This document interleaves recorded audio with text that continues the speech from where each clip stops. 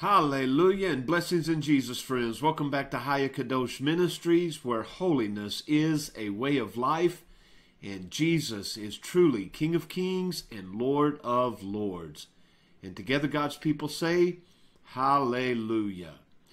Well, friends, I trust this finds you feeling blessed this morning and anticipating great things that the Lord shall reveal unto us through his living word. Now, today is July the 22nd in the year of our Lord 2017, and this is one a day for the soul. Now, if you have your Bibles, turn to James chapter 1, and we're going to look at verse 27 this morning.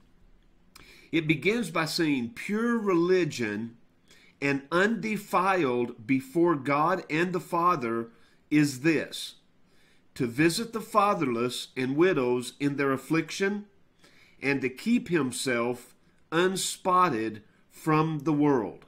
Now, let's just take a few moments and dissect this. Pure religion. In other words, pure service unto God. And what I mean by that is this Strong's defines in the Greek this word religion as external, that which consists of ceremonies. Now, when we think of ceremonies, we think of maybe illustrious events, but a ceremony can be something as simple as prayer, your own private prayer time. It could be your worship, it could be your Bible reading. And we have to be very careful, as we've talked about in the past, with these things because they can become religious. You have to remember the Jewish people at this time were probably the most religious people on planet Earth.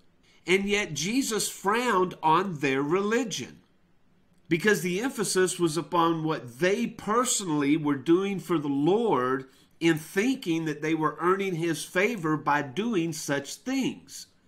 And aren't you and I guilty of the same thing? Don't we feel blessed when we have given unto the Lord our time in Bible study, time in prayer? I mean, if you've ever woke up in the morning and you've rushed out of the house and you didn't pray, maybe you felt empty. And it wasn't necessarily that you felt that you were walking alone, as opposed to having invited the Lord into your day to walk with you, but you felt undone because you hadn't observed a practice that maybe you were familiar with. And the line that separates these two is such a fine line that we have to be careful on which side we are. And so, what we find in this verse is the fact that God doesn't look upon what we're doing for Him in observance to the religious rituals or practices that we have built up, but He's looking for something much different, and that's told to us in the end of the verse. But let's continue on. Pure religion and that religion that is undefiled, uncorrupted, unspotted, unblemished before the Almighty is this. It's not prayer, it's not fasting, it's not reading your Bible, it's not going to church, it's not memorizing Scripture, it's not witnessing to other people and telling them of the love of Jesus, but this is what it is it is to visit the fatherless, the orphan, and the widows in their affliction, in their distress, in their struggles. Now, the word in the Greek from the Strongs means this to look upon or after, to inspect, to examine with the eyes in order to see how the person is, to go see one to look upon in order to help or to benefit, to look after, to care for, to provide for. It has this idea of caring for them, listening to them, talking to them, and maybe offering them direction and guidance so that they can look past the issues of their life that they're facing that could be very problematic for them and to look upon God the Savior as the help that they need in the time of their need. We can only provide them so much, But we serve a God that is the answer to all of their needs. And when a person is in the midst of their problems, it's as if they become so tunnel vision, they can't see any other solution. They can't find a way out. And so we come alongside them as guides to help them in their situations, paying their bills, buying them groceries, giving them money. These are all things that are momentary and bring both them and us satisfaction. But time and effort and patience and love is required to visit with them on a regular basis. We are to invest ourselves in them. And maybe they're experiencing some of the same things that we have experienced, and we can share with them from wisdom because we have walked that path. And so we're not only giving them answers that sound like cliches, but we're giving them real life experience because we have passed through that situation and we know what the other side looks like. And so James is telling us here the true reality of Christian practice that God finds honorable is to visit the orphan, the fatherless, and widows in their affliction.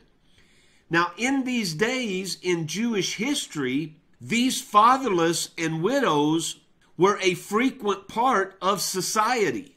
I don't know when the last time you have gone out to find the orphan, to find the widow, but they're not as easy to find today as maybe one time they were. I mean, you got to remember some of these small villages were a couple of hundred people at the most. In some of the cities we have in America, maybe most of the cities we have in America, people get lost in the sea of humanity.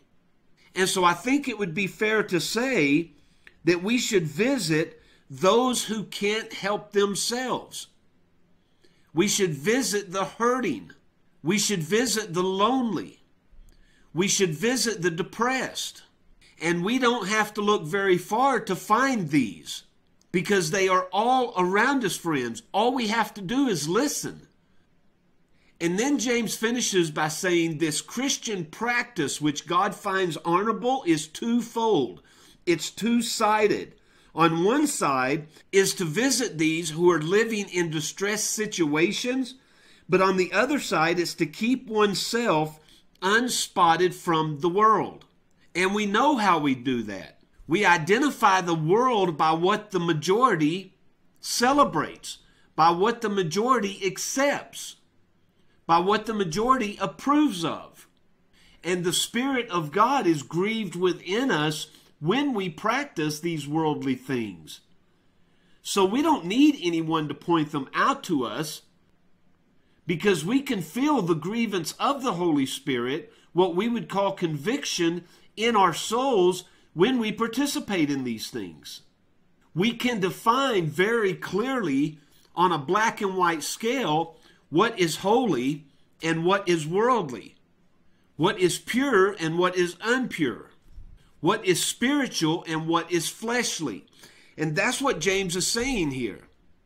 Well, friends, I love you. I'm so grateful that you spent a few moments with us today. I pray that the Word of God is changing you in ways that you thought not possible. And I pray that your journey will be blessed as you walk with the Lord Jesus today. And He will put those in your path whom cannot help themselves. Now, as Yahweh wills, and until tomorrow, friends, I love you and I'll see you on the next video.